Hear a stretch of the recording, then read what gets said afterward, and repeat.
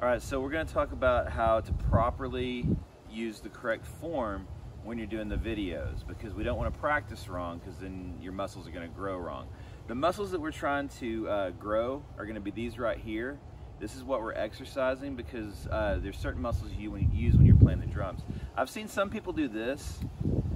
When you do that, you're using your shoulders. That's not really what you do most of the time. Uh, whenever I first give somebody drumsticks, a lot of times, uh, without me telling them anything, they'll do a, a motion like this. When you're doing that, uh, you're using your elbow and you're working your biceps and triceps muscles. What we're trying to do is work this muscle right here, and uh, what we're supposed to be using most of is going to be our wrist. If you're doing correct form when you're drumming, you with sticks, you should look like this.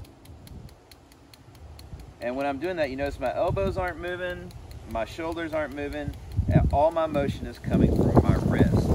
So that's the uh, muscles that we need to, uh, to work on when we're doing these exercises.